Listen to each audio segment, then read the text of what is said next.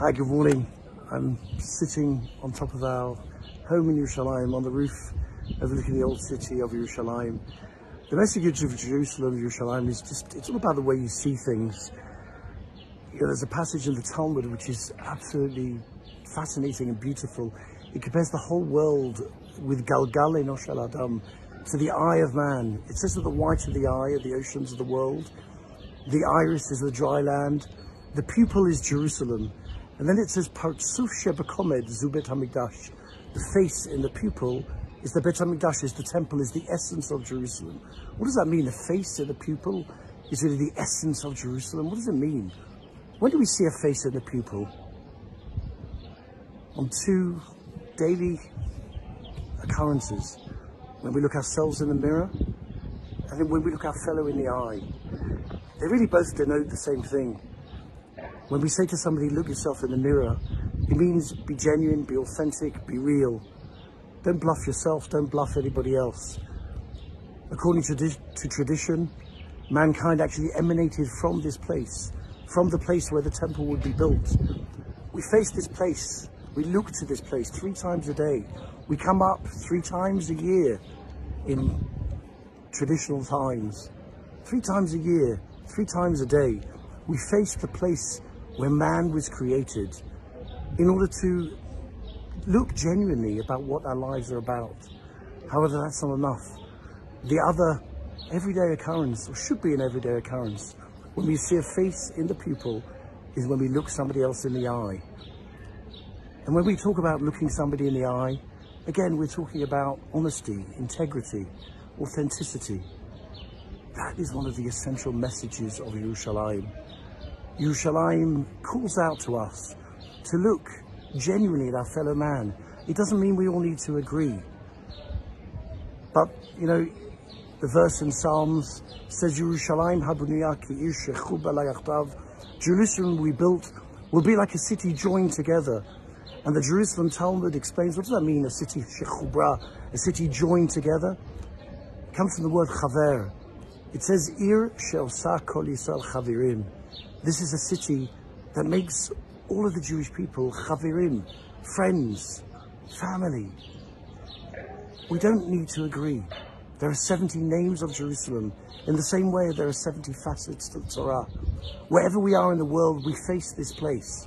But we face from different directions. And of course, we're going to have different perspectives. See the good of Jerusalem see the good of the Jewish people. We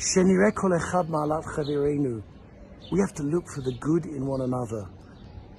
This week is Yom Yerushalayim, the day that celebrates the return of the Jewish people to Jerusalem after 2,000 years.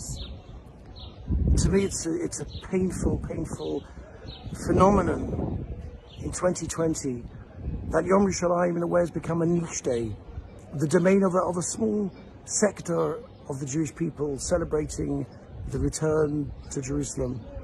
I don't want to get into politics. This isn't about politics or, re or religious politics. Yerushalayim was not divided amongst the tribes. Yerushalayim was shared by everybody. All the Jewish people, three times a year, came up to Jerusalem. Three times a day we faced Jerusalem. Shlomo Melech, King Solomon, prayed to God and he said, all of humanity, if they face this place, may their prayers be answered. Yerushalayim is a place that calls, cries out to us, especially at this time, especially at the time where we've all been separated, we've all been divided, we've all been kept at home.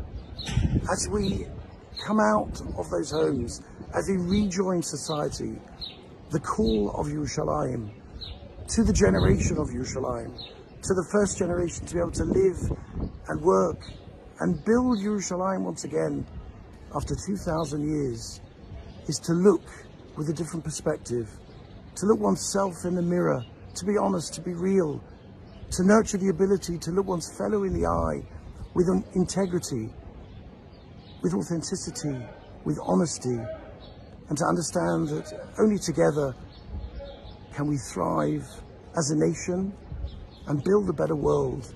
And that really is the prophecy of Yerushalayim. Beat their swords into plowshares, their spears into pruning hooks. that out of Zion, out of this place will come forth a moral law, a code of conduct, a decency, an upright way of being, an authentic, genuine, honest way of being. This is what the whole world is crying out for. This is the knocking on the door. Please God, this Yom Yerushalayim, this week we should all wake up. Firstly, by looking ourselves in the mirror. And secondly, one by one, looking at those people around us with a different eye, with a different perspective, looking for the good in everybody, and moving out and out and out in those concentric circles to the communities beyond our own, and looking for the good in them and sharing it with them, looking our fellow man, woman in the eye. And please God, we're Urei B'tuv Yerushalayim, we should, the blessing should come forth from this place and should spread to our families, to our people, and to the whole world. Thank you.